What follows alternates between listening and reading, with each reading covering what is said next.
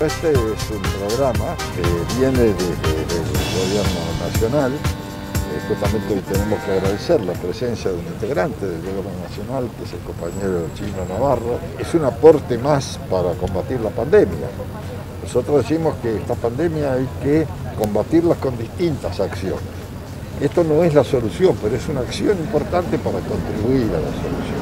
Todo esto que se ve acá, especialmente la gente, acá, compañeros de distintos barrios que van a estar al frente de las postas, consta de elementos que van a ser aportados semanalmente y que además van a favorecer la, la comunicación con la gente. Por eso tenemos que agradecerle a todos los que de una u otra manera hicieron posible esto, que va a significar, reitero, acercar un elemento más para la prevención de, de, este coronavirus que nos azota a todos. El Barrio Cuida el Barrio, como decía Juan José, es un programa que tiene por finalidad ir a los barrios castigados por la crisis socioeconómica y con propios vecinos del barrio realizar una tarea de escuchar la problemática de los vecinos, trabajar también junto con el plan detectar cuando empieza a haber síntomas para luego al vecino hacerle el hisopado y determinar si está o no tiene el, contagio del virus.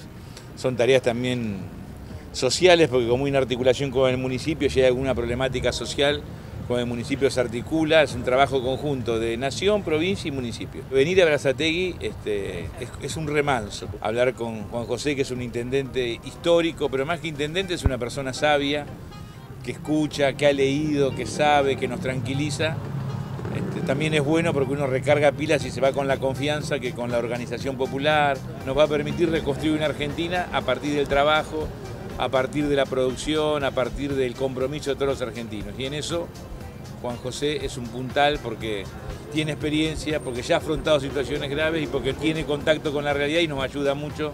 Así que gracias Juan José por estar siempre y por apoyar.